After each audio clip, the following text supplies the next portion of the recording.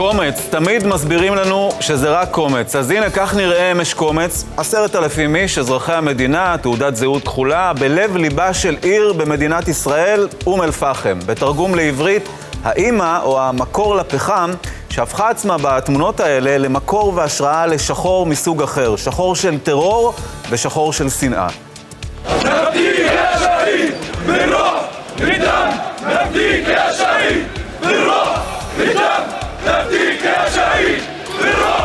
אז הנה כך, הנה כך מלווים אזרחים מוסלמים שלושה מחבלים נתעבים שביצעו מעשה טרור באחד המקומות המקודשים ביותר לאסלאם. לא כבוד לדת ובטח לא לאדם.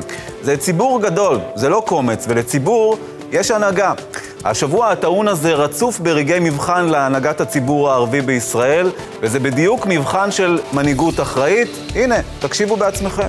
המבחן של אה, אה, אה, מנהיגות אחראית הוא לראות את החיוב ולשלוח מסר מקרב. מה שראש הממשלה בנימין נתניהו לא עשה. היה צריך למצוא את האדם בתוך האחריות והשותפות האזרחית למצוא את האדם, מבחן של מנהיגות אחראית. אבל האם מה שחבר הכנסת טיבי מסביר לנו כל כך יפה בעברית, הוא אומר גם כשהוא עומד מול הקהל שלו אמש בהפגנה ליד שער האריות, מתברר שברגעי מבחן של אה, מנהיגות ציבורית יש דוקטור טיבי ויש מיסטר אחמד.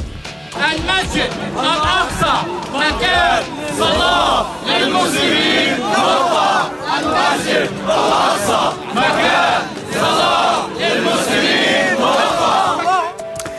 אז יש לנו מנהיגות אחראית בעברית, שילוב של אה, קהל מפגינים מוסלמים בערבית. אולי, אולי הבעיה היא בכלל בשפות האלה, עברית וערבית, שפות המריבה שלנו. אולי אם ננטוש אותן לרגע ונעבור לדבר בשפה אחרת, שלישית, אולי באנגלית, נגלה את אותה מנהיגות אחראית של טיבי, שמי יודע, אולי יום אחד עוד יהיה כאן ראש ממשלה. if this will be the case, I, I will be, we will be running for the post of the prime minister, and I can assure you that I will win Bibi Netanyahu because we will be more. All Palestinians would vote for me. Some Israeli Jews will vote for me, and Netanyahu will be the loser. נתניהו will be the loser. גם אם בסוף השבוע הזה טיבי רואה עצמו כמנצח, כדאי לו לעמוד מול המראה ולעשות חשבון נפש קטן, כי מי יודע, אולי יום אחד הוא עוד יהיה ראש ממשלה.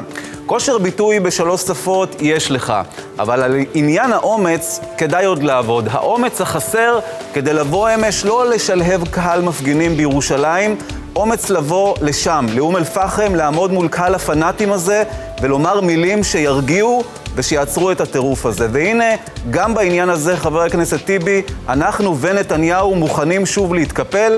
לא צריך שתאמר את זה בשלוש שפות, נראה אותך עושה את זה בשפה אחת בלבד.